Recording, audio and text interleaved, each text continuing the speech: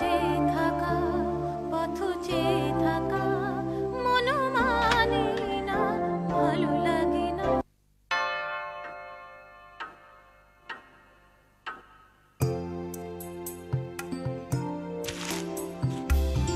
double chamber tea bag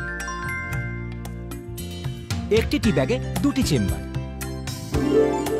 প্লাস্টিকের sealing দেওয়া সাধারণ টি ব্যাগ লিকার ছড়ায় দুদিক থেকে